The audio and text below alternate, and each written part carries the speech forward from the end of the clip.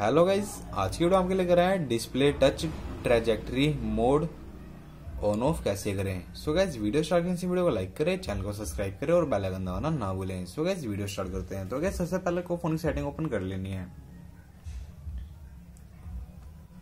Phone की setting open करने के बाद गैस आपको नीचे शॉर्टकट एंड एसेसिबिलिटी का ऑप्शन आएगा। इसे ओपन कर लेना है। इसे ओपन करने के बाद गैस आपको नीचे यहाँ पे आपको एस कैप्चर का ऑप्शन आएगा। इसे ओपन कर लेना है। इसे ओपन करने के बाद आपको नीचे आना है।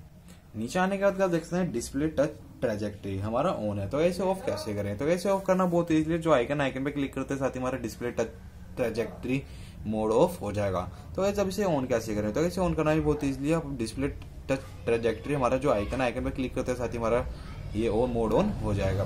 तो इससे आप अपनी सेटिंग में जाके एसेसिबिलिटी शॉर्टकट में जाके एस कैप्चर में जाके इसे ऑन ऑफ़ कर सकते हैं। सो गाइस वीडियो अच्छी लगी तो वीडियो को लाइक करें चैनल को सब्सक्राइब करें और बेल आइकन दबाना ना भूलें। थैंक्स फॉर वॉचिंग वीडियो मिलते हैं नेक्स्ट वीडियो में।